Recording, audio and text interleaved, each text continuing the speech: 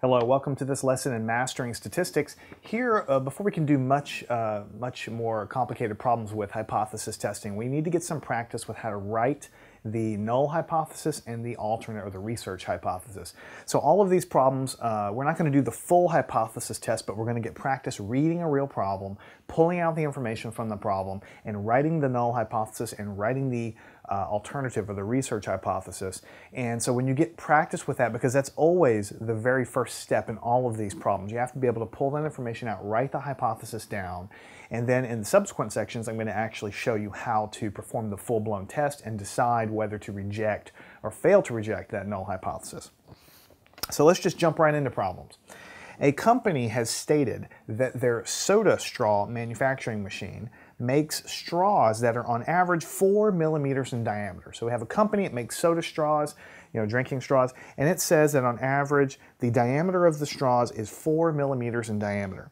But an employee believes that the machine no longer makes straws of this size, and to test this, he samples 100 straws to perform a hypothesis test with a 99% confidence level.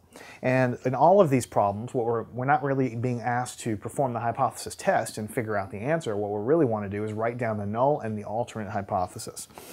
So when you read this problem carefully, you need to, to see exactly what it's telling you. It says, okay, the first sentence says uh, their soda straw machine makes uh, straws that are on average four millimeters diameter. That's what the company believes.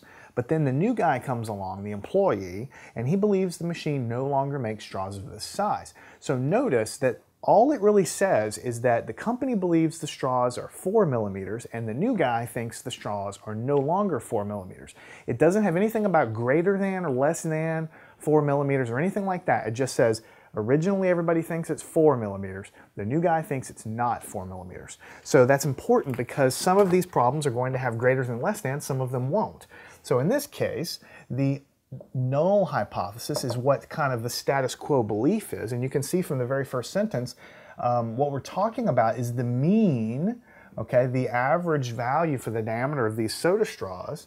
And the default hypothesis or the null hypothesis is that everyone thinks the mean is on average four millimeters.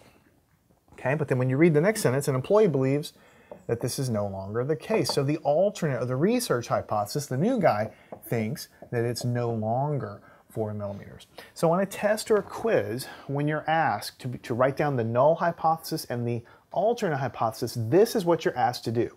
The null hypothesis is sort of the default belief, innocent till proven guilty, so to speak, that the soda straw machine makes straws with this diameter.